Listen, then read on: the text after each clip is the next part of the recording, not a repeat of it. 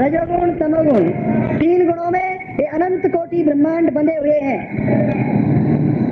कोई भी इन तीनों गुणों से बाहर नहीं है। और जो बाहर हो गया है, वो तो परमात्मा को प्राप्त हो गया है। वो परमात्मा स्वरूप हो गया है। उसके जन्म मरण दोबारा इस पृथ्वी, ये भौतिक संसार में नहीं है। वो वैकुंठ का वासी हो गया है। वो उसको चिन्मय शरीर की प्राप्ति हो गई है। अब उसको जन्म, मरण जरा व्याधि नहीं व्याप्त हो सकते। युवा अवस्था में उसका चिन्मय देह प्राप्त हो चुकी है। वो वैकुंठ जगत है। वो चिन्मय धाम है। वो तीनों गुणों से परे आप आत्मा स्वरूप है। आप ही सच्चिद आनंद है। सच्चिद आनंद। सत मानी सत्य परम सत्य सदैव रहने वाले। और आनंद मानी परमानंद में रहने वाले। प्रत्येक सच्चिदानंद आत्मा है। लेकिन आपने जो ये ओढ़ने ओढ़ रखे काम क्रोध का पहन चोलना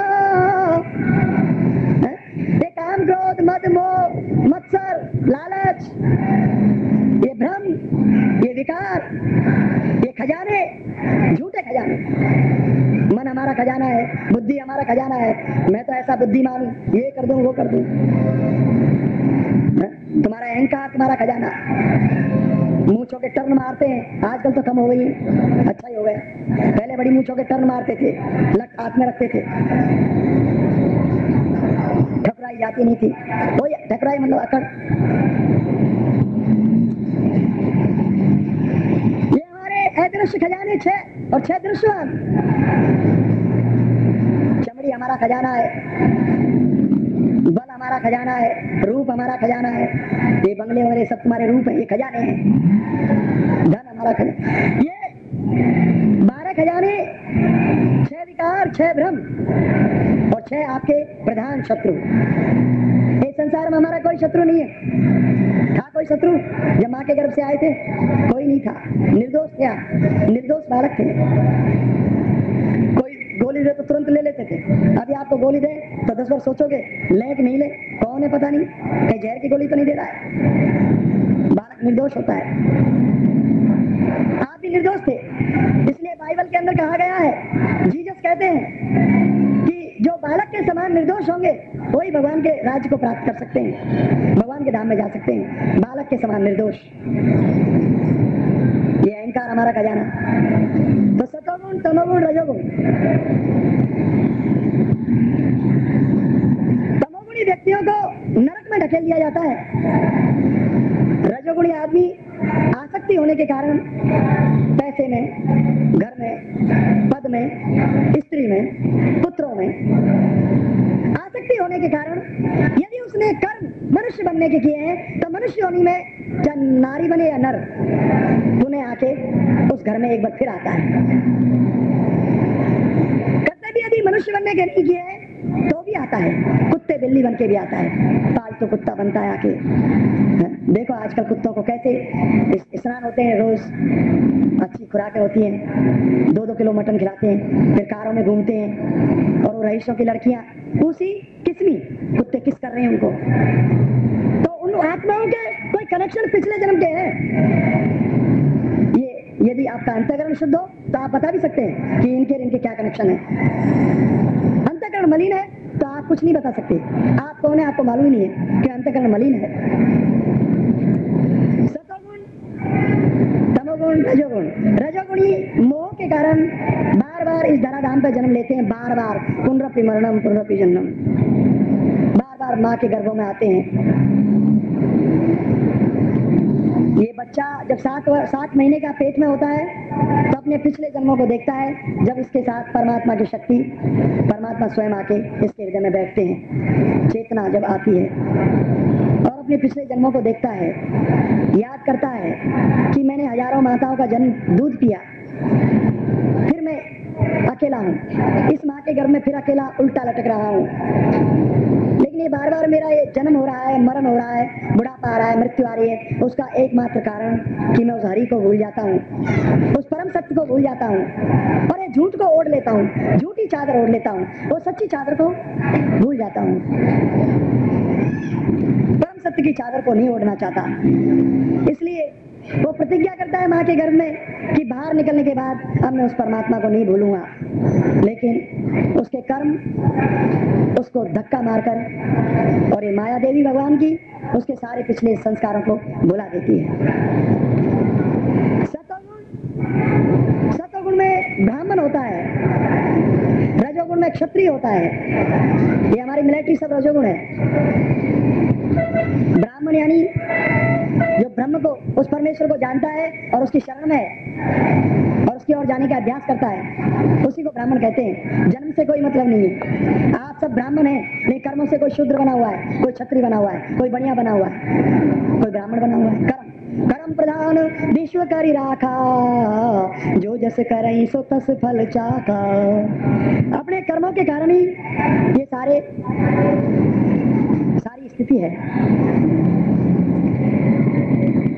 सतोगुण में ब्राह्मण, रजोगुण में क्षत्रिय, रजोगुण प्लस तमोगुण में बढ़िया बिजनेसमैन और तेवर तमोगुण में शूद्र होते हैं। जन्म से कोई मतलब नहीं है। चाहे जन्म ब्राह्मण के घर में लिया हो, उच्च ब्राह्मण के घर में और उसके कर्म तमोगुणी है तो वो व्यक्ति शूद्र कहलाता है। और कोई चांडाल के घर में भी जन्म लिया है और उसके कर्म सतोगुणी है हैं? तो ब्राह्मण कहलाता है।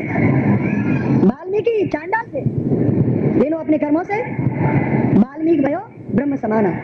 उल्टा नाम जपा जग जाना। वाल्मीकि भयो, ब्रह्म समाना। आप कहीं भी जन्म लिया हो इससे कोई मतलब नहीं है। आप अपने जन्म जन्म के पापों को नष्ट कर सकते हैं। आपके अंदर बुद्धि है। किसी गुरु की शरण में जाकर आपको पापों को जलाने की विधि बतला देगा। आपके सारे पाप जल जाएँगे, फिर उनका फल भी आपको नहीं मिलेगा। वो विधि बतला देगा। वो फल भी कट जाएँगे। चार जातियाँ और चार वर्ण। चार वर्ण मतलब चार वर्ण और चार आश्रम। वर्ण मानी जातियाँ। चार जातियाँ कौन सी हैं? ब्राह्मण, क्षत्रिय, वैश्य और शूद्र। ये प्रत्येक परिवार में भी हो सकती हैं। प्रत्येक देश में भी हो सकती हैं, प्रत्येक धर्म में भी हो सकती हैं। ये चार जातियाँ मुसलमान में भी हो सकती हैं, क्रिश्चियन में भी हो सकती हैं, हिंदू में भी हो सकती हैं। ब्राह्मण कहते हैं, जो उस परमात्मा की शरण में है। यदि कोई सच्चे हृदय से उस अल्लाह की शरण में है मुसलमान ब्राह्मण लेवल पर है। यदि वो सतोगुणी भोजन करता है, सतोगुणी आहार लेता है, सतोगुणी व्यवहार करता है, सतोगुण में भगवान का दान, पुण्य, धर्म करता है, आपके परिवार में, किसी बाप के परिवार में चार बच्चे पैदा होते हैं। एक बच्चा कहता है कि, पिता, मैं तो इस संसार में नहीं फंसना चाहता। मैं तो हिमालय में जाता हूँ कॉपी लगाकर। महात्माओं में बैठूँगा। किसी गुरु के आश्रम में झाड़ू मारूँगा। आपका वो बच्चा ब्राह्मण के लेवल पर है। वो सतोगुण में स्थिर हो गया। दूसरा लड़का कहता है कि, पिताजी, हमको तो मिलिट्री में भर्ती करवा दो आप। ठीक है बेटा, फार्म भर दे। वो मिलिट्री में चला गया। वो आपका दूसरा बेटा क्षत्रिय बन गया। बेटा कहता है कि पिताजी, ये नौकरी वोकरियों में कुछ नहीं रखा है। और वो बड़ा भी बाबा जी बन गया। घर कैसे चलेगा? हमको तो कोई दुकान खुलवा दो यहाँ आसपास। जरा बेचा करेंगे। नमक, मिर्ची, जो भी, धनिया। ये बढ़िया वाणिज्य बन गया। अभी इसको रजोगुणी और तमोगुणी कार्य करने पड़ेंगे। कभी झूठ बोलना पड़ेगा। ऐसा बढ़िया नहीं है, जो झूठ बोल के नहीं बेचता हो। बोलना पड़ता है। इसलिए तो तमोगुण रजोगुण में। उभरते नहीं। और चौथा बेटा बंबई में आ गया। आया तो हीरो बनने था, लेकिन हालत खराब हो गई। अब वो पॉलिश कर रहा है जूतों की। या होटलों पे कप प्लेट मांझ रहा है। या और कोई काम कर रहा है। शूद्र का काम है तीनों की सेवा करना। शूद्र का मतलब है जिसकी बुद्धि क्षुद्र हो, छोटी बुद्धि। अब वो करेगा क्या? पॉलिश करेगा। क्या कप प्लेट धोएगा? बुद्धिमान होगा तो कप प्लेट क्यों धोएगा? वो तो मैनेजर बनेगा, टाटा मिल का? मिल का तीन चारों वर्ण, यानी जातियाँ। और चार आश्रम, इसमें पूरी पृथ्वी का समाज स्थिर होता है। भगवान कहते हैं, चतुर्वर्णम मया सृष्टम, गुण कर्म विभाष है। हे अर्जुन, ये गुण और कर्मों से चारों वर्ण और चारों आश्रम बनते हैं। ये मेरी रचना है। उसकी तो सभी रचना है। ये भी एक रचना है। एक ब्रह्मचारी होता है, दूसरा गृहस्थी होता है, तीसरा बानप्रस्थी होता है, चौथा सन्यासी होता है। ये चार आश्रम है। आपके घर में भी ब्रह्मचारी लड़के हैं। कल को शादी करेंगे, गृहस्थ में प्रवेश करेंगे। परसों जब उनके लड़के बड़े हो जाएँगे तो उनको चाबी दे देंगे और खुद जो है घर से आसक्ति कम करके भगवान का भजन, मंदिर में बैठना, सत्संग में जाना बानप्रस्थी और कभी तीव्र वैराग आ गया। तो वही सन्यासियों में जाके और परम सत्य की खोज के लिए निकल पड़ेंगे प्यासे की तरह। खोजी बनकर।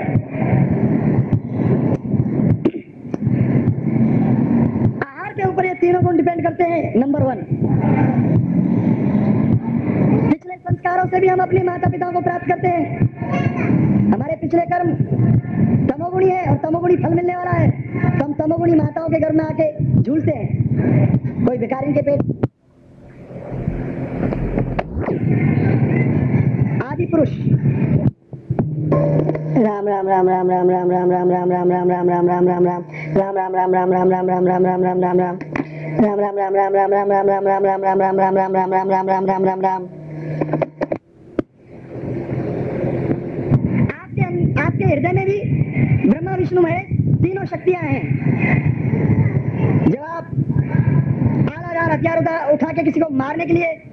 आतुर होते हैं, उस समय शिव प्रकट होता है, जो मृत्यु का देवता है, प्रलय कर देगा।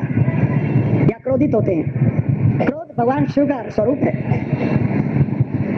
उस समय आपका शिव प्रकट होता है। जितनी आपकी शक्ति है, उतना ही शिव प्रकट होगा। जब आप कोई भंडारा करते हैं, परमार्थ में भोजन करवाते हैं, उस समय आपके हृदय में विष्णु प्रकट होता है, जो सबको खिलाना, पिलाना, वस्त्र बांटना, दान देना, सब कुछ करना चाहता है। परोपकार करना चाहता है। पोषण करता, विष्णु रूप प्रकट होता है। और जब आप शादी करते हैं, बच्चा पैदा करते हैं, उस समय आपका ब्रह्मा प्रकट होता है, जो रजोगुण है, जो विषय भोगों में, संभोग में रत रहता है। यदि आप विष्णु तत्व को अधिक प्रकट करें तो आपके गिरने के चांसेस नहीं है। क्रोध को प्रकट करेंगे तो गिर जाएँगे, जेल में चले जाएँगे। भक्ति नष्ट हो जाएगी।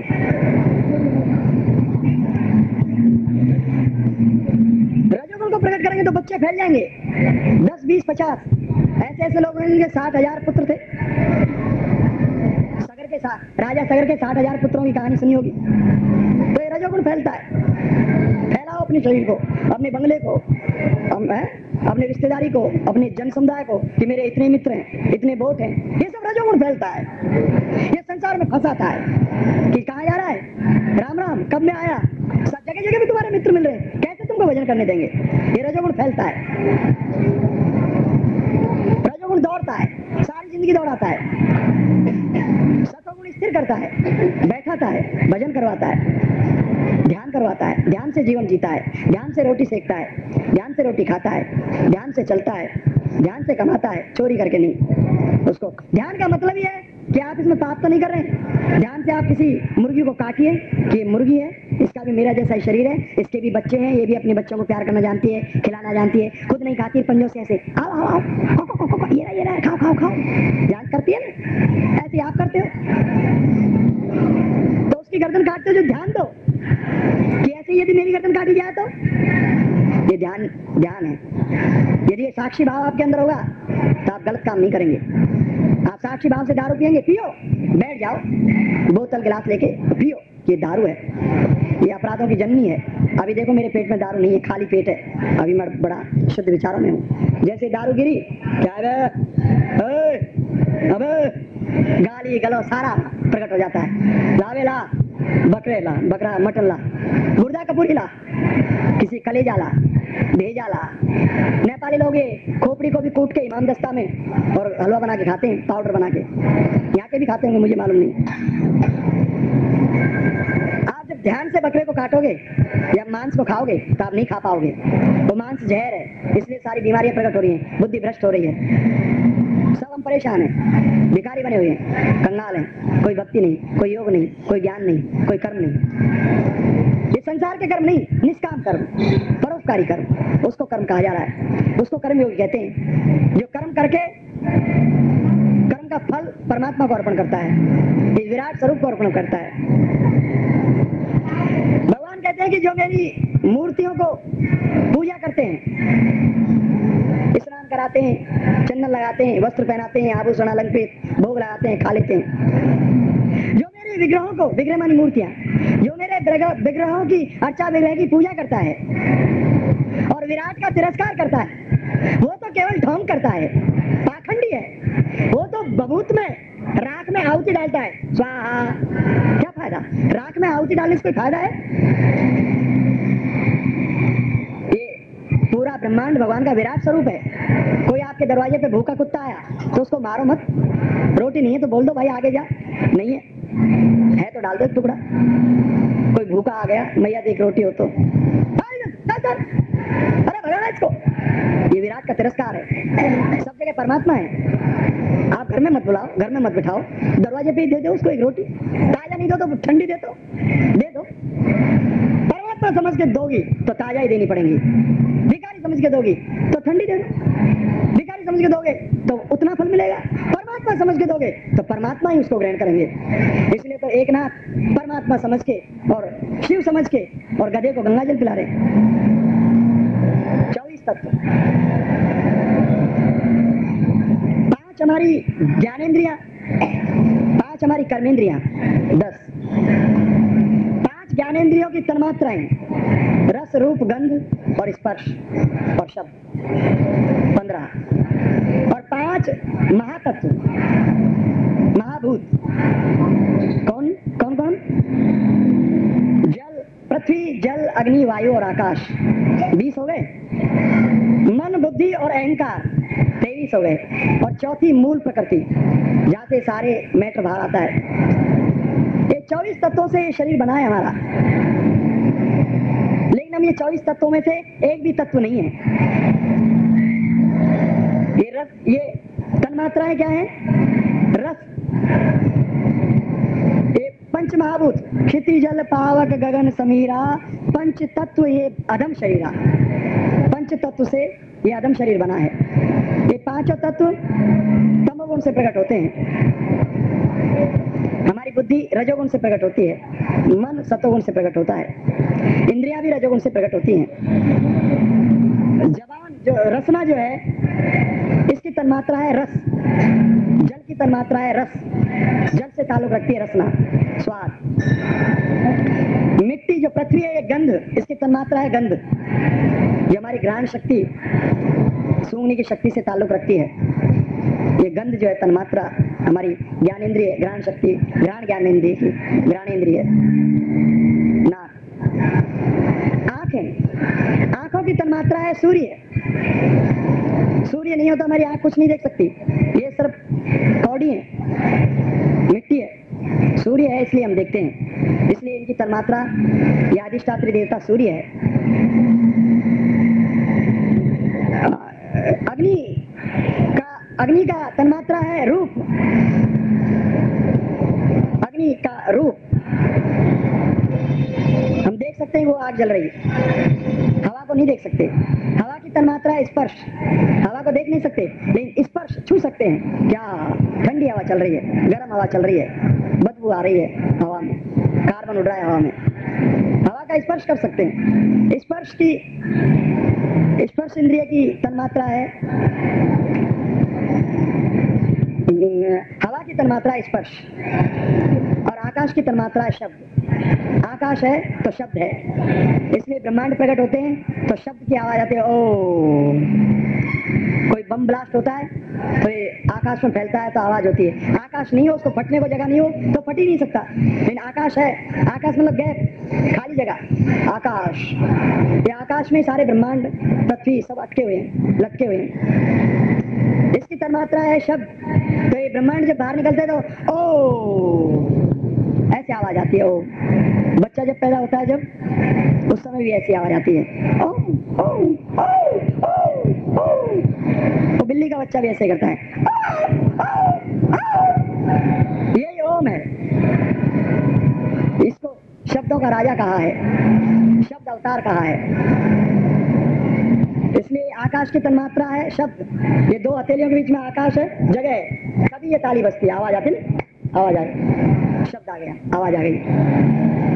अगर ये जगह नहीं है तो अब अब जरा आवाज़ कर लो। नहीं हो सकती। ये जगह है, इसलिए आवाज़ आती है। तो ये चौबीस तत्वों का वर्णन मैंने किया। चौबीस तत्वों से अनंत ब्रह्मांड बनते हैं। लेकिन हम चौबीस तत्वों में से एक भी तत्व नहीं है। न मन है, ना बुद्धि है। ना अहंकार है, ना ज्ञानेन्द्रिय है, ना कर्मेंद्रिय है। और ना ही तन्मात्राएँ हैं, ना ही मूल प्रकृति है। हम आत्मा हैं, जो शरीर के अंदर बैठे हैं। अपनी इच्छाओं से शरीर हमने प्राप्त किया है। हमारी इच्छा और गिर जाए तो शायद हमको ये शरीर प्राप्त नहीं हो। अगले जन्म में कोई कुत्ते बिल्ली का शरीर प्राप्त हो। हमें शरीर नहीं है। ये मेरा हाथ है, ये मेरा पाँव है, ये मेरा सर है। ये मेरा शरीर कितना सुंदर है। बोलते ही नहीं, मेरा शरीर कितना बलिष्ठ है। आप शरीर नहीं है, मेरा शरीर। मेरा मन बड़ा चंगा है। मेरा मन में आता है, ये कर लूँ। अरे मेरी बुद्धि बड़ी तीव्र है। मैं बड़ा अहंकारी हूँ। तो आप अहंकार भी नहीं है। अहंकारी है, लेकिन अहंकार नहीं है। तो आप शरीर नहीं है, ना बुद्धि, ना मन। आप आत्मा है, सच्चिदानंद आत्मा। ये भगवान यहाँ पर बोलते हैं अर्जुन को कि आत्मा का कभी नाश नहीं होता। जैसे हमारे शरीर को बचपन, जवानी, बुढ़ापा और मृत्यु चार अवस्थाएँ चेंज होती हैं। ऐसे ही ये चार, जो भी संसार में प्रकट होता है उसका अंत होता है। उसमें विकार पैदा होते हैं। छोटे से बड़ा होता है, बड़े से फिर बुढ़ा होता है और मर जाता है। ये ब्रह्मांड की भी एक आयु है। ब्रह्मा जी की भी एक आयु है। क्योंकि ब्रह्मा भी आत्मा है। शिव आत्मा नहीं है। शिव तत्व भगवान तत्व है। भगवान की कोई आयु नहीं होती। लेकिन ब्रह्मा का शरीर जो है, ब्रह्मा को भी शरीर छोड़ना पड़ता है। उस शरीर की भी आयु है। शिव के शरीर की आयु नहीं है। वो सच्चिदानंद स्वरूप, उनका शरीर है। चिन्मय शरीर है उनका। शिव कभी इसलिए उनको सदा शिव बोला है। उनका शरीर नहीं छूटता।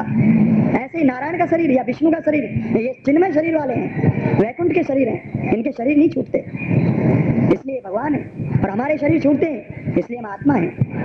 यदि हम अभ्यास करते करते वो चिन्मय धाम को प्राप्त कर लें तो हमको भी चिन्मय शरीर मिल सकता है और आप भी अजर अमर शरीर प्राप्त कर सकते हैं। कोई चीज़ कठिन नहीं है। अभ्यास करना पड़ेगा। और जितना अभ्यास कर लेंगे, उतना लाभ ही लाभ है, नुकसान नहीं। इस जन्म में पूर्ण नहीं हो पाए तो अगला जन्म तो है। क्योंकि आपकी पूंजी, ये नेक कमाई आपके साथ जाती है। बाकी कमाई इधर खाक में मिल जाती है। कर कमाई नेक बंदे, मुफ़्त खाना छोड़ दे। ज़िंदगी है चार दिन की, दो तो चली गई, और दो दिन और है। दिल लगाना छोड़ दे, ये आ सकती है, या मत फंस। सकती मैं और मेरा। ये मैं हूँ, ये मेरा है। निराशक्ति हे भगवान, तू कहाँ है? तेरे भक्त यहाँ तड़प रहे हैं। तेरी ये सृष्टि, तेरी ये दुनिया, तेरी ये फुलवारी। वो नहीं है मेरा परिवार, नहीं, बोल, तेरी ये फुलवारी है। तू इनका मालिक है। मैं तो एक मैनेजर हूँ, मैं तो व्यवस्थापक हूँ। किसको कपड़ा लाना है किसको अन्न लाना है किसको पढ़ाने भेजना है, मैं तो इनका व्यवस्थापक हूँ। ये इंडस्ट्री मेरी नहीं है। मैं इसका मैनेजर हूँ। ये खजाना मेरा नहीं, तेरा है गोविंद। मैं तो इसका मैंने खजांची हूँ। तू जैसे प्रेरणा देगा, वैसे खर्च करता रहूँगा। तब आपका अहंकार चोर होता है। तब आप भगवान की शरणागति स्वीकार कर पाते हैं। जब तक मैं और मेरा है, आप खुद ही भगवान है। वो आसक्ति है। ये आसक्ति कभी भगवान से मिलने नहीं देती। ये मोह है। ये मोह के कारण तो गीता सुनानी पड़ रही है अर्जुन को। भगवान कहते हैं। देहिनोऽस्मिन् यथा देहे कौमारम यौवनम जरा। तथा देहांतर प्राप्ति तत्र न मुहति जैसे जीवात्मा की इस देह में बालकपन, जवानी, वृद्धावस्था और मृत्यु, वैसे ही अन्य शरीर की प्राप्ति।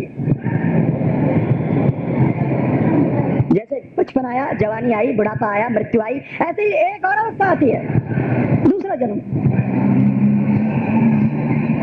अर्जुन इस विषय में धीर पुरुष, मोहित नहीं होते। धीर पुरुष जो धैर्य धारण करते हैं, वो मोहित नहीं होते। धैर्य बड़ी चीज़ का नाम है। आज से सौ साल पहले के आदमी के अंदर बहुत धैर्य था। वो अपने खेत में जो हो जाता था, साल भर का इकट्ठा घर में रख लेता था। उसी को बेच के थोड़ा कपड़ा लत्ता, नमक, मिर्ची और बड़े आराम से खाते पीते थे, बड़े मस्त रहते थे। ऊपर आसमान में देखते थे कितने तारे हैं, ये सप्तऋषि हैं, ये हिरणी है, सूर्य उदय हो गया और शुक्र तारा उदय हो गया। आनंद लेते थे। अब हर आदमी गाँव का शहरों को भाग रहा है, शहरों का विदेशों को भाग रहा है। धैर्य नहीं। अभी करोड़पति हो जाऊँ। मार दू, मर्डर कर दू, लूट लू, पीट दूँ मेरा मैं ये आ सकती है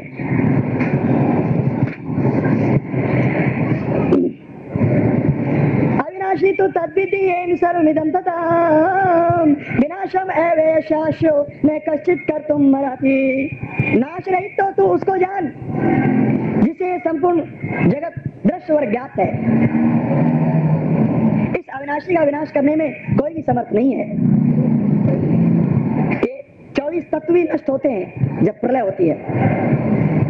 ये मन और अहंकार और बुद्धि भी आपके मूल प्रकृति में चले जाते हैं, लेकिन आपका नाश नहीं होता। सदैव अजर अमर हैं अविनाशी हैं आपका नाश नहीं। हे अर्जुन अविनाशी तो तू उसे, जा, उसे जान जिसे संपूर्ण जगत दृश्य वर्ग जो आँखों से दिख रहा है ये व्याप्त है। ये आत्मा से ये जगत व्याप्त है। ब्रह्मा जी इस ब्रह्मांड में नहीं हो तो ब्रह्मांड नहीं होगा। और एक दिन नहीं होगा जब ब्रह्मा जी शरीर छोड़ेंगे। यदि आप इस शरीर में नहीं हो तो शरीर रह सकता है? नहीं रह सकता। जब निकल जाता है तो शव पड़ा रह जाता है। जब आत्मा निकल जाती है तो शरीर पड़ा रह जाता है, मिट्टी की तरह। बात आने लगती है। जब क्षेत्र निकल जाता है तो क्षेत्र पड़ा रह जाता है। ये शरीर क्षेत्र है, और क्षेत्र के अंदर बैठा है। जैसे एक ड्राइवर कार के अंदर बैठता है, इसको चलाने के लिए। वो है तो हिल रहे हैं, चल रहे हैं, आँखें ऊँची नीची हो रही हैं। नौ द्वारे पुरे दे हंसो ले लाए थे वही ये नौ द्वारा का पुर है पुरी है। इसमें हंस आत्मा। कभी आँखों में आके आनंद लेता है। आ, कैसा सुंदर है। कभी कानों में ओ, झुमका गिरा रहे बरेली के बाज़ार में। कभी यहाँ से आनंद लेता है। कभी ये आत्मा जबान पदार्थ बड़ा अच्छा भेलपुरी खाकरे चाय शराब सिगरेट तंबाकू बीड़ी। टेस्ट लेता है। नौ द्वारे के पुर में ये राजा आत्मा जगह जगह आनंद लेता है संसार के। लेकिन फिर आनंद लेते हुए फिर और नीची योनि में जाता है। फिर वो स्वर की योनि में जाके विष्ठा का भी आनंद लेता है। जो मज़े लेते हैं संसार के, उनको मज़े की सजा है।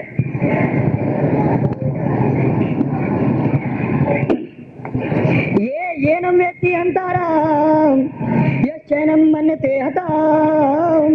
उभो तो न विजानी तो न हंती न हन्यते इस आत्मा को जो मरा हुआ समझता है, और जो ये समझता है कि मैंने मार दिया, वो दोनों ही मूर्ख हैं। क्योंकि न तो कोई किसी आत्मा को मार सकता है, ना कोई मर सकता है। कोई समझे कि मैंने इसको मार दिया। कोई समझे कि मैंने हीरालाल को मार दिया। मार दिया होगा हीरालाल को। क्योंकि हीरालाल उसके शरीर का नाम था? आत्मा का नहीं, आत्मा को तुम नहीं मार सकते। न जायते वा कदाचिन नायम भूत्वा भविता वा न भूयो। अजो नित्य शाश्वतो वयम पुराणो, न हन्यते हन्यमाने शरीरे। ये शरीर का नाश होता है, आत्मा का नहीं। वासांसि जीर्णानि यथा विहाय नवानि, गृह्णाति नरो प्राणी, तथा शरीराणि विहाय।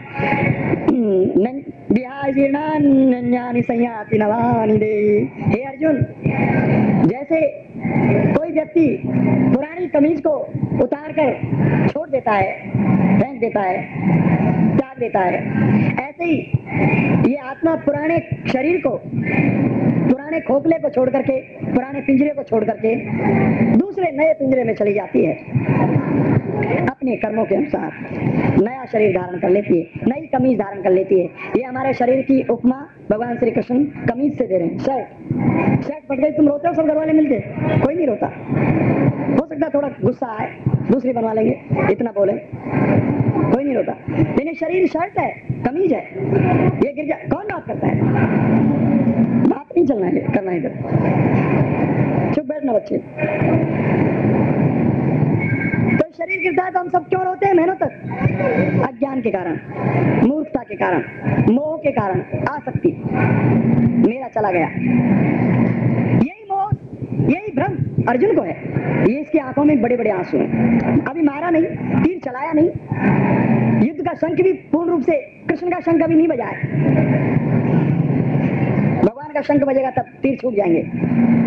वो पाँच जन शंख है। पाँच जन शंख एक बार सारे संख बजे हैं। नहीं, युद्ध जो तीर छूटेगा। वो संख अभी नहीं बजा है वो बिगुल अभी नहीं बजा है क्योंकि वो सेना तैयार है, सारे संघ बज गए। लेकिन इधर की सेना अभी अर्जुन तैयार नहीं है। तो कैसे हो? युद्ध का बिगुल बजे। मोह ग्रस्त है अर्जुन। हम सब मोहग्रस्त है भ्रमित है। आपका कोई नहीं मरा। शरीर छोड़ गया। रह गया आपके पास दस साल, बीस साल, पचास साल, सौ साल। उतने ही संस्कार थे। चला गया। अपने गंतव्य दिशा की ओर। खुशी होना चाहिए। कभी कभी आँसू आ जाते हैं, ये बात सत्य है। एक बार मैं जयपुर में था तो मुझे किसी, मेरे गाँव के आदमी ने बोला कि तुम्हारे पिताजी गुजर गए। मुझे हँसी आई। तो आदमी बुज़ुर्ग था, मुझे फटकारा। बोलो, कैसा? बेशरम है? अरे, पिताजी मर गए, तुम हंस रहे हो? तो मैं उसी की आवाज़ बोला तो क्या रहूँ मैं बोला उसको, मैं क्यों रहूँ मेरे पिताजी बयासी वर्ष के थे। शुद्ध काम किए, खेतों पे भी अपनी माला जप करते रहते थे। कोई पैसे के चक्कर में नहीं पड़े। वो भी हमारे अंकल ही संभालते थे। ब्राह्मण थे, कृष्ण मंदिर में, कृष्ण के पीछे पड़े रहते थे, शंकर मंदिर में शंकर के स्नान कराते थे, हम उनकी नित्य क्रिया को जानते थे। तो हम बड़े, मैं बड़ा प्रसन्न हुआ कि अच्छा हुआ, बुढ़े थे बेचारे, चले गए हो उनकी गति ऊँची हुई है। मैं क्यों रहूँ वो पाप करके सुअर बनने जा रहे हो तो शायद मुझे रोना आ जाए। कि उन्होंने अच्छे काम नहीं किए? कभी कभी आ जाता है आँसू भी। लेकिन मैंने तक क्या रोना? अच्छे जो है मैं क्लास जो है अच्छे जो है एदायो है मैं क्लास जो है सो सो एव चो नित्य सर्वगत स्थानो रहे चलो हम सनातनो। हे अर्जुन, ये आत्मा अछेद है, इसको कोई भी अणु, एटम बम छेद नहीं कर सकता। ये आत्मा अदाय है, कोई भी प्रचंड ज्वाला इसको जला नहीं सकती, एक्लेज इसको कोई भी जल गीला नहीं कर सकता। और निसंदेह ऐश्वर्य है। भी वेगवती वायु, तूफ़ान, इसको सुखा नहीं सकता। ये आत्मा नित्य है, सर्वव्यापी है। बहुत काम की बात आई है। हम समझते हैं हमारी ये आत्मा यहीं पर बैठी है। नहीं, ये सर्वव्यापी है, सर्वत्र है। जैसे परमात्मा सर्वत्र है कण में, ऐसे आत्मा भी सर्वत्र है। इसलिए संसार दिखाई दे रहा है। जिस दिन आत्मा नहीं होगी, जैसे आकाश सर्वत्र है, ऐसे आत्मा सर्वत्र है। और ये विश्व आत्मा एक ही है, दो नहीं। लेकिन जैसे सूर्य एक ही है, लेकिन हम सौ घड़े रख दें और सौ घड़ों में पानी भर दें। तो फिर देखिए आप, सौ घड़ों में सौ सूर्य दिखाई देंगे। ऐसे ही आत्मा छोटे छोटे कण रूप से असंख्य शरीरों में, करोड़ों अरबों शरीरों में बंद है। और ये शरीर फैल जाए तो फिर ये एक ही है। ये एक समूह है। जैसे करोड़ों अणु मिलके एक बम बनाते हैं। ऐसे अरबों खरबों आत्माएँ, असंख्य आत्माएँ मिलके एक ही आत्मा बनाती हैं। ये बूंद से, छोटी सी आत्मा से, विराट से जुड़ जाती हैं, विश्व आत्मा से जुड़ जाती हैं। तो आपको उस प्रभु के दर्शन होते हैं। तब आप नहीं कह सकते कि ये तो मुसलमान है ये हिंदू है, ये क्रिश्चियन है ये ये सुअर है, ये गधा है, ये पक्षी है ये पेड़ है। फिर आप किसी पेड़ के पत्ते अकारण नहीं कह सकते। फिर आप पेड़ों में कैंची नहीं लगा सकते। नहीं सकती, बिना कारण। क्योंकि पेड़ों को भी उतना ही दर्द होता है, जितना हमको होता है जब हमारे कोई बाल खींचता है, नाक कान काटे, वो भी आत्मा है, वो भी खुश है, प्रसन्न है। और हमसे बड़ी आत्मा साबित होता है संसार में आके। हम उसके लिए कुछ नहीं करते। अपने आप खड़ा हो जाता है, फल देता है, फूल देता है, छाया देता है, लकड़ी देता है, ऑक्सीजन देता है, जिससे हम ज़िंदा रहते हैं। और आप काटो तो एक शब्द गलत नहीं बोलता। और आपको डिस्टर्ब नहीं करता, शांत है। संत की तरह शांत है। बड़ा परोपकारी है हम क्या परोपकार करते हैं? अपना ही भरते हैं। जो व्यक्ति अपना ही भरता है पेट, उसका दायरा बहुत छोटा है। जैसे एक बिंदी यहाँ लगा दो पेन से, इतना सा। जो कम से कम अपने परिवार को पालन पोषण करता है, उसका दायरा थोड़ा सा बड़ा है। अपने पूरे गाँव का परोपकार करना चाहता है, उसका दायरा और बड़ा है। लेकिन अपने पूरे महाराष्ट्र का परोपकार करना चाहता है सच्चे हृदय से, चोर नीति से नहीं, उसका दायरा और भी बड़ा है। लेकिन जो पूरे भारत को अपनी गोदी में उठाना चाहता है, उसका दायरा और भी विस्तार से है। लेकिन जिसका दायरा जिसका प्रेम पूरे विश्व के लिए है, उसका दायरा बड़ा भारी है, अपार है। वो एक संत का हृदय हो सकता है। संत की दृष्टि में ये हिंदू मुस्लिम नहीं होते। ये किताबें हिंदुओं की नहीं है, ये गीता शास्त्र हिंदुओं का नहीं है। ये सनातन शास्त्र है, ये सनातन विद्या है, ना ये मुसलमानों का है। कोई ये बोले कि गीता हिंदुओं की वो मूर्ख है? इसको स्वीकार करें, वो बात अलग है। मुसलमान इसको स्वीकार करें, वो बात अलग है। क्रिश्चियन इसके अनुसार चले, वो बात अलग है। गीता तो एक परम ज्ञान है, जो सनातन आ रहा है। तुम्हारे हिंदू तो अभी पैदा हुए कुछ समय पहले से। ये कोई सनातन है क्या? ये तो सिंधु नदी के उस पार वालों को, सिंधी कहते थे, इस पार वालों को हिंदू कहने लगे। हिंदुओं ने एक भाषा बनाई, हिंदी। ये कोई सनातन नहीं, हिंदू, ना ही मुसलमान। पहले मुसलमान पैदा हुए। 2000 वर्ष पहले क्रिश्चियन पैदा हुए। सबके इतिहास है। इसका इतिहास नहीं है, ये दिव्य ज्ञान है, ये सनातन है। जब से सृष्टि चली तब से है। भगवान कहते हैं कि आत्मा को कोई एक महापुरुष ही आश्चर्य की भांति देखता है। कोई एक महापुरुष ही जिसको इस आत्मा के दर्शन हो जाते हैं, आत्म साक्षात्कार हो जाता है।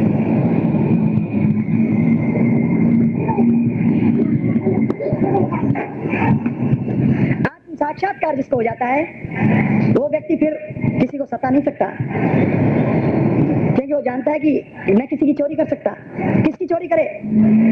अपनी पॉकेट का, इधर की पॉकेट का माल, इधर की पॉकेट में करने के बराबर है। अरे, वो भी तुम ही हो। चोरी किसकी कर रहे हो तुम? जैसे एक चोर अपनी दाई पॉकेट का पैसा बाई में रखे। अरे, वो आत्मा तुम्हारे, तुम में फ़र्क क्या है? तमाम आत्माओं और तुम में फ़र्क क्या है? ये सारी विश्वात्मा एक है, दो नहीं। जो दो समझता है वो तत्व ज्ञान को नहीं पहचाना। उसको कैसे आत्म साक्षात्कार होगा? आत्मा के दर्शन करना। तो कोई कोई महापुरुष इसको आश्चर्य की भांति देखता है। वैसे ही दूसरा कोई महापुरुष ही इसके तत्व का आश्चर्य की भांति वर्णन करता है कि मैंने देखा है। कोई कोई महापुरुष कि मैंने आत्मा को देखा है। ये आत्मा विशाल है, विस्तार है, सागर की तरह अनंत है। ये छोटी मोटी नहीं है। इसकी शक्ति भी अपार है। जो सूर्य की शक्ति अपार है। ऐसी शक्ति है। और कोई कोई तो सुनकर भी इसको नहीं जानता। और कोई कोई सुनने के बाद भी इसको नहीं जानता। क्योंकि आत्म साक्षात्कार तक नहीं पहुँचा। ये सब अभ्यास से होता है।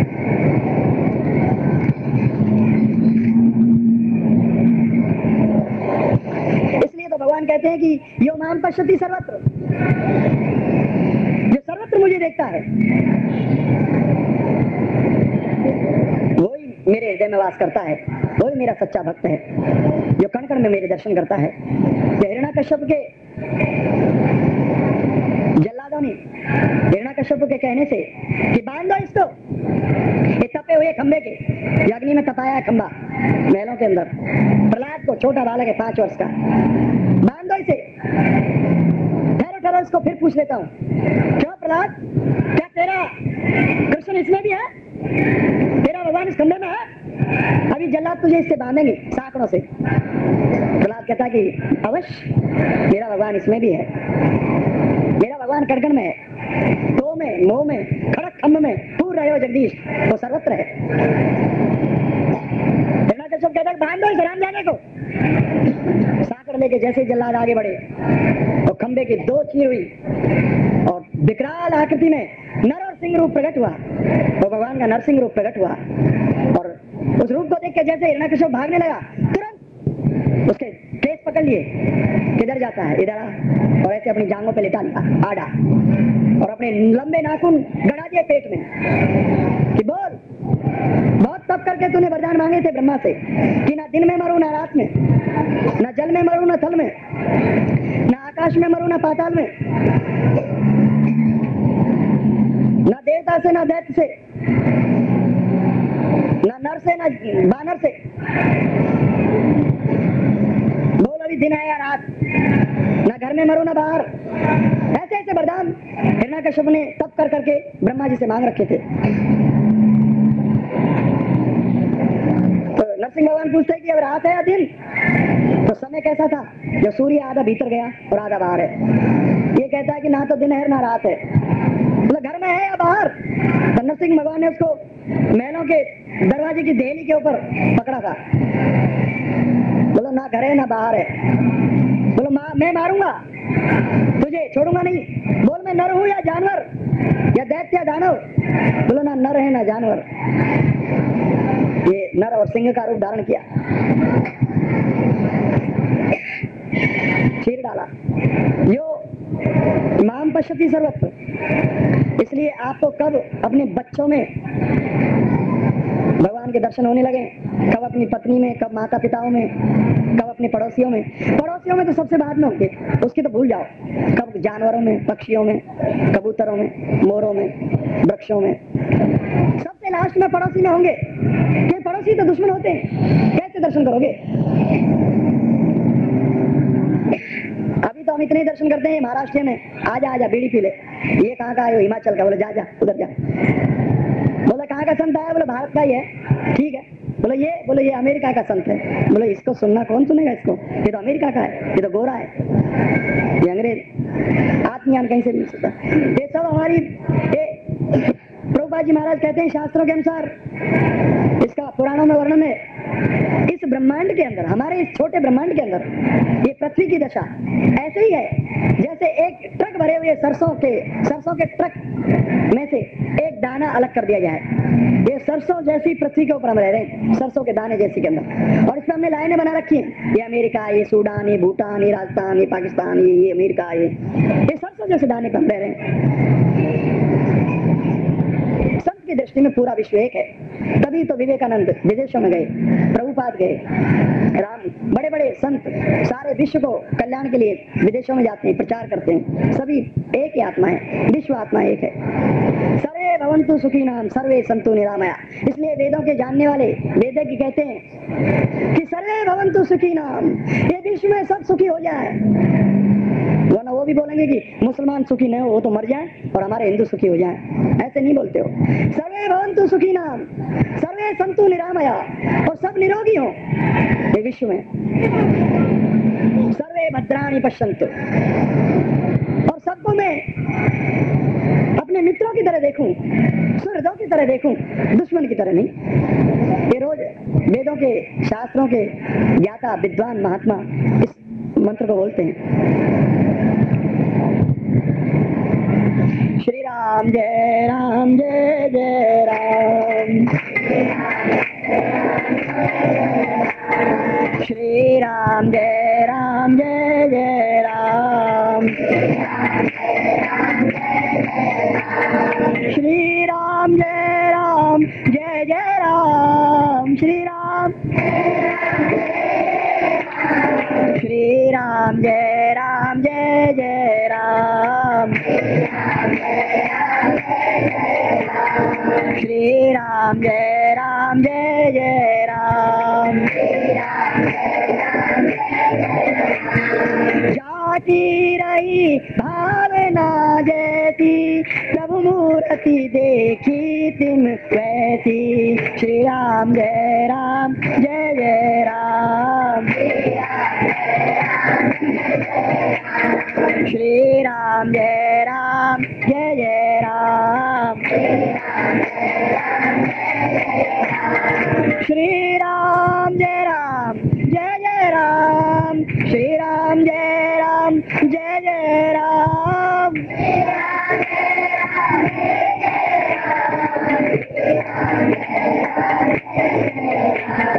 Shri Ram Jai Ram Ram, Shri Ram, Jai Ram, Jai Jai Ram.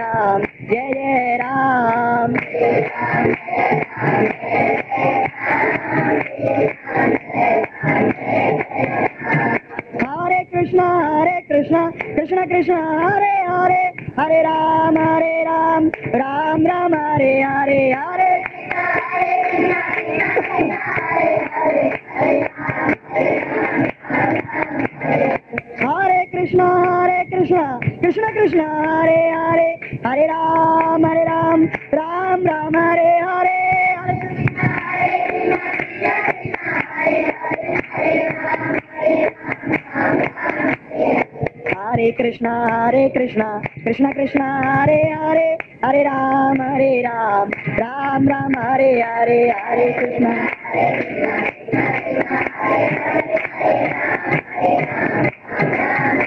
बोले कृष्ण कन्हैया, लाल की जय, गोविंद गोपाल की जय। भगवान फिर कहते हैं वेद संसार की व्यवस्था का वर्णन करते हैं। संसार में रहने के लिए कैसा ज्ञान चाहिए, कैसे कर्म करने चाहिए और कैसे प्रेम करना चाहिए। ये ऋक साम और यजुर्वेद, तीन वेद मुख्यतया जिनका भगवान श्री कृष्ण ने वर्णन किया है। चौथा वेद अथर्वेद ये वेद व्यास जी ने विस्तार किया। बाद मत बात करो।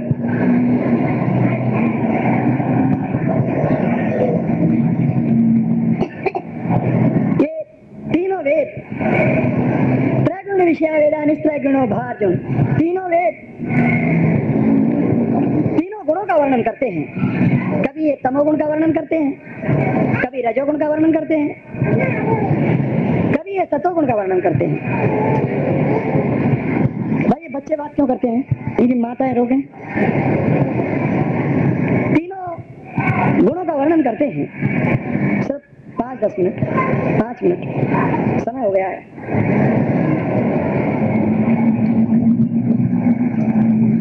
इसलिए मैं देखता हूँ कि बहुत से यज्ञ करने वाले हैं, हवन करने वाले। और पंडितों में तो प्राय जो देवताओं को बलि देते हैं। आर्य समाज में भी क्या करती है बच्ची? क्यों क्यों मुँह में चांटा मार रही है? क्या अपराध किया है जो चांटा मार रही है ऐसे? क्यों करती है ऐसे? चुप नहीं बैठा जाता? थोड़ी देर शांत बैठा। आर्य समाज में भी यज्ञ करते हैं, रोज यज्ञ करते हैं आर्य समाज लोग। लेकिन उनकी आहुति कैसी होती है? देखिए जरा। यज्ञ तो परमात्मा के लिए ही करते हैं, ये सत्य है। कि ये परमात्मा आपको ये मैं आहुति देता हूँ। ये आहुति, यानी ये घास। जैसे हम घास देते हैं आहुति, स्वाहा, आहा, क्या हलवा है, क्या किशमिश है, क्या देसी घी है। ये आहुति का मतलब स्वाहा का मतलब आहा। स्वाहा संस्कृत में बोलते हैं, आहा अपन हिंदी बोलते हैं, आहा, आनंद आ गया। तो ऐसे स्वाहा, कोई मंत्र की आहुति दी, कोई देवता को। वो परमात्मा की आहुति देते हैं। ज्योतिर्मय परमात्मा को आहुति देते हैं। लेकिन उनके मंत्रों के अभिप्राय कैसे हैं, सुनिए। हे परमात्मा, ये आहुति आपके लिए है, मेरे लिए नहीं। परमात्मा सामने भोजन के लिए बैठ गया है। अभी आप उसको एक एक घास देंगे। स्वाहा, ये घास आपके लिए, मेरे लिए नहीं। हम अब आप हमें पुत्र दो पुत्र दो, घोड़ा दो, गाड़ी दो, महल दो, नौकर दो, चाकर दो, दूसरा मन। स्वाहा ये भी घास आपके लिए है, मेरे लिए नहीं। ये दो, वो दो वो दो। ये निष्काम भक्ति नहीं है। ये आत्मा की खुराक नहीं है। तुम तो भगवान के साथ में बिज़नेस कर रहे हो। तुमने थोड़ी सी चावल आ किए, और बोलो, मुझे घोड़ा दो, गाड़ी दो, ये दो, वो दो। ये कैसे हैं क्या इनको महात्मा लोग यज्ञ नहीं मानते। जो महात्मा होगा, वो परमात्मा को प्रेम से खिलाएगा, प्रणाम करेगा, परमेश्वर को। वो देवी देवता को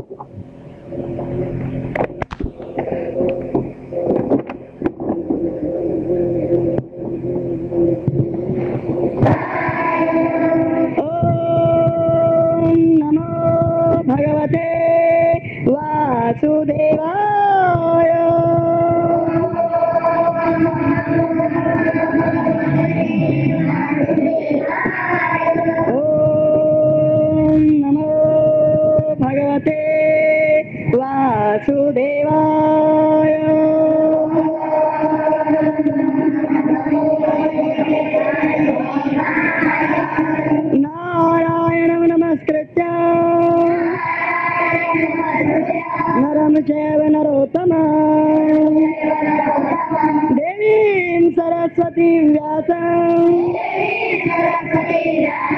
ततो जयामुदीरयेत्।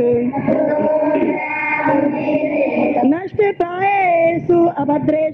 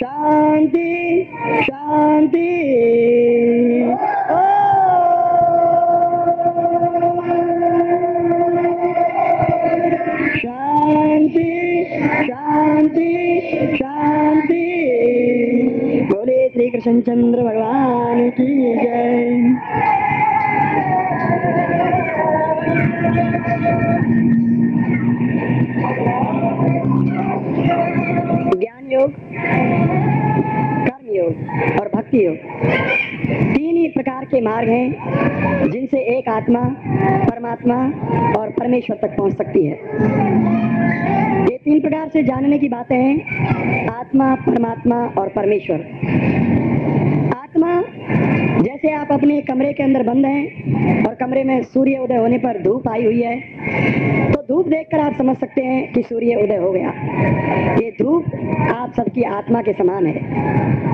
लेकिन जैसे ही आप सूर्य को देखने के लिए खिड़की से बाहर झांकते हैं और सामने एक गोलाकार सूर्य दिखाई देता है।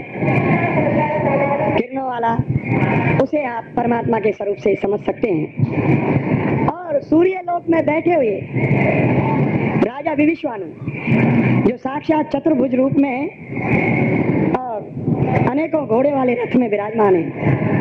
वो सूर्य लोक के राजा विविश्वानु, उसको आप परमेश्वर के रूप में देख सकते हैं। इसी तरह आत्मा, हम सब, परमात्मा हमसे ऊपर और परमेश्वर सब परमात्माओं के ऊपर। इसको विस्तार से मैं आपको समझा देता हूँ, क्योंकि अभी ये ज्ञान, योग ज्ञान विषय चल रहा है। आत्मा सो परमात्मा इसलिए कहा जाता है आत्मा में छुपे हुए परमात्मा को यदि ये आत्मा ढूंढ ले, खोज निकाले तो उस परमात्मा की शक्ति, उस परमात्मा का प्रकाश भी आत्मा पर पूरी तरह से बरसने लगता है। तो वह परमात्मा का स्वरूप कहलाता है, प्रकाशमान महात्मा कहलाता है, पूरा विश्व उसके चरणों की तरफ़ झुकने को आता है। वो तो परमात्मा का स्वरूप है। दूसरे रूप में तीन प्रकार के विष्णु मुख्यतया होते हैं।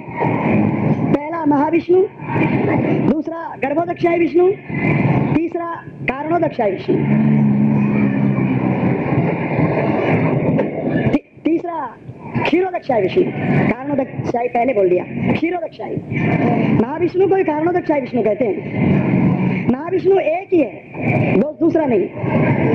ये भौतिक संसार के और वैकुंठ जगत के बीच में कारण जल, जिसको अंग्रेज़ी में कौजल वाटर कहते हैं। ये जल कोई पीने वाला जल जैसा नहीं है। ये अति सूक्ष्म जल है। इस कारण जल से ही ये अनंत कोटि ब्रह्मांड बाहर निकलते हैं। ये मूल प्रकृति का बिगड़ा हुआ रूप है, कारण जल। इसी में से अनंत अनंत, असंख्य ब्रह्मांड निकलते हैं। सारे तत्व निकलते हैं। चौबीस तत्व मुख्यतया होते हैं। कपिल देव भगवान अपनी माँ देवती को वर्णन करते हैं। सांख्य दर्शन, सांख्य का वर्णन, सांख्य मानी ज्ञान। ये ज्ञान का विषय है। विष्णु या महाविष्णु एक को ही कहते हैं, ये विष्णु एक ही है। जो बैकुंठ जगत के और भौतिक जगत के बीच में, कारण जल में विराजमान है। रुपए में से बारह ने वैकुंठ जगत है और चार आने भौतिक संसार है, जिसमें असंख्य ब्रह्मांड है। असंख्य ब्रह्मांड है। बार। ब्रह्मा जी हमारे ब्रह्मांड के ब्रह्मा जी हमारे जैसे बहुत ब्रह्मांड है। असंख्य मानी जिनकी गिनती गिनती नहीं की जा सकती। अनंत जिनका अंत नहीं। आज अमेरिका के वैज्ञानिक बोलते हैं, उनके पास एक 28 टन की दूरबीन अमेरिका के बड़े ऊँचे पहाड़ पर रखी हुई है, और उससे वो ये आकाश के तारों का इनका निरीक्षण करते हैं। ये वैज्ञानिक बोलते हैं कि हमने सूर्य से भी एक एक हज़ार गुना बड़े तारे देखे हैं और वे सभी सूर्य के समान स्वयं प्रकाशित हैं। हमारे सूर्य और सूर्य मंडल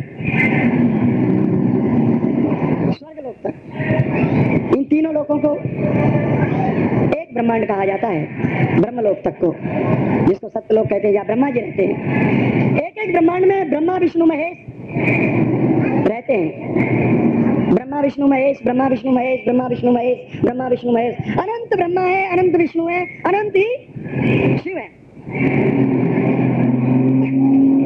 ये श्रीमद भागवत कथा, जो परमहंसों की संगीता है उसमें से मैं बोल रहा हूँ, आपको सुना रहा हूँ। उपनिषदों की वार्ता है। परमहंसों की संगीता सारे ग्रंथों का रस है जो वेद व्यास जी ने निचोड़ के और परमहंसों के पीने के लिए रखा है, जिसको भागवत सप्ताह कहते हैं। जो अनंत ब्रह्मांडों में अनंत ब्रह्मा है, अनंत विष्णु है, अनंत शिव है, इनमें जो अनंत विष्णु है, यही क्षीरोदक्षाय विष्णु कहलाते हैं। जो हम सब प्राणी मात्र के हृदय में बैठते हैं, चतुर्भुज रूप में। प्रत्येक ब्रह्मांड को, आधे ब्रह्मांड को जल से प्लावित करके उसमें विराजमान होते हैं गर्भोदक्षाय विष्णु। वो भी अनंत है, लेकिन महाविष्णु एक ही है। महाप्रलय के समय, जिस प्रलय में ये अनंत ब्रह्मांड विलीन हो जाते हैं, इनका सारा तत्व, ये चौबीस तत्व, उस कारण जल में मिल जाते हैं।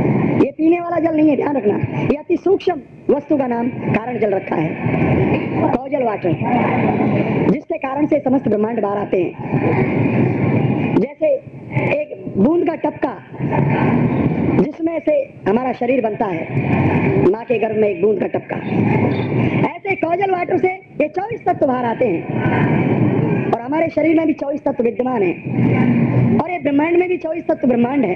विद्यमान है। और अनंत ब्रह्मांडों में चौबीस तत्व ही विद्यमान है। चौबीस तत्वों से ये भौतिक संसार की रचना होती है। उनको मैं अभी बतलाऊँगा। महाप्रलय में तमाम ब्रह्मांडों की आत्माएँ महाविष्णु की उच्छ्वास से महाविष्णु के पेट में चली जाती हैं और ये चौबीस तत्व तत्वों में मिल जाता है। और जब महाविष्णु सांस को बाहर छोड़ते हैं तो दोबारा एक नई सृष्टि आती है जिसमें करोड़ों अरबों खरबों ब्रह्मांड फिर निकलते हैं। उनके रोम कूपों से ब्रह्मांड निकलते हैं। ऐसी वो शक्ति महाविष्णु है।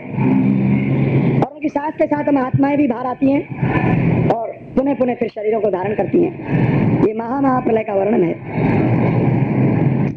एक बार ब्रह्मांडों के विषय में छोटी सी कथा कहता हूँ।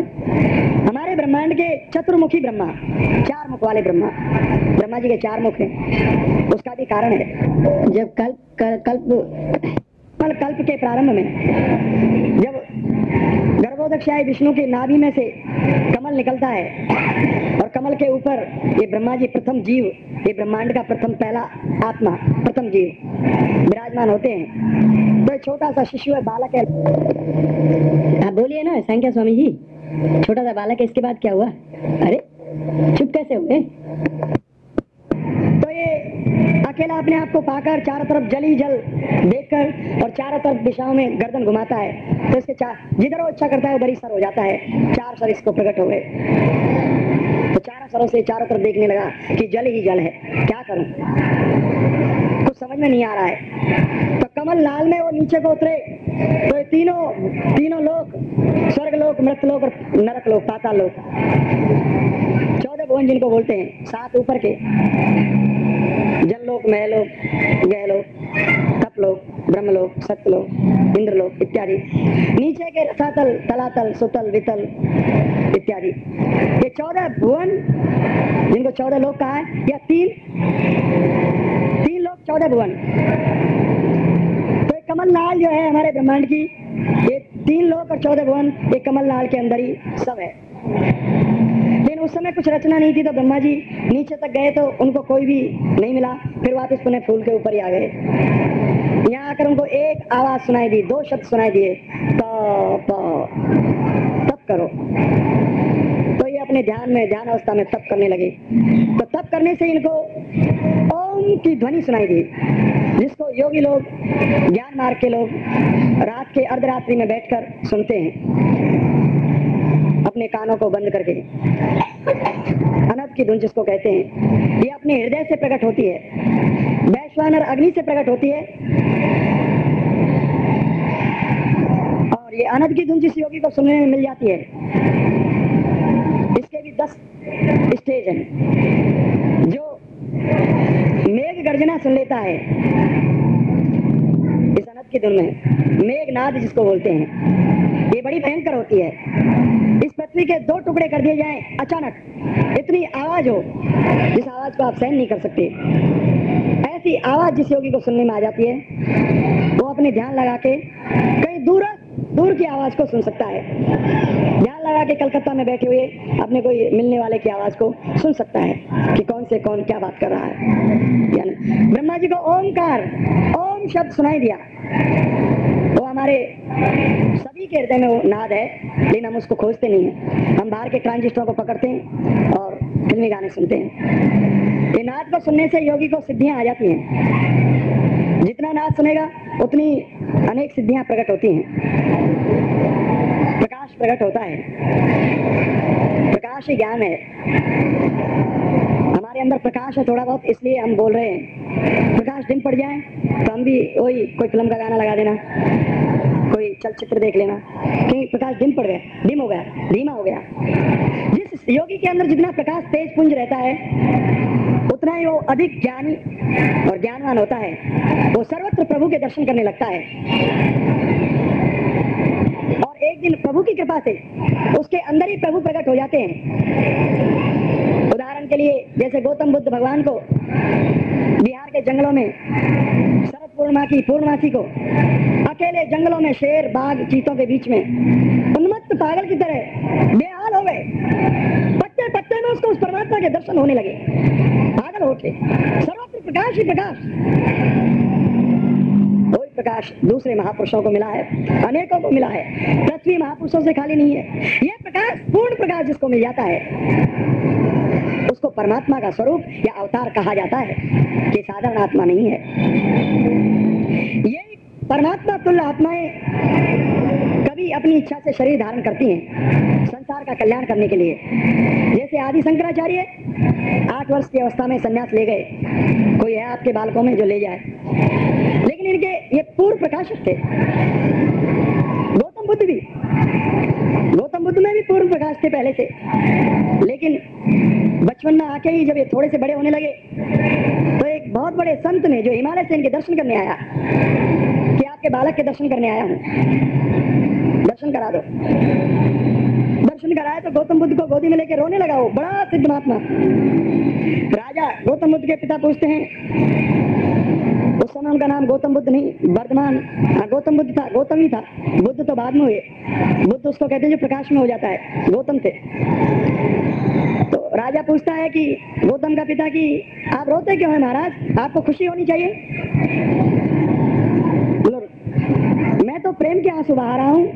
ये परमात्मा मुझे कहाँ कहाँ दर्शन देगा?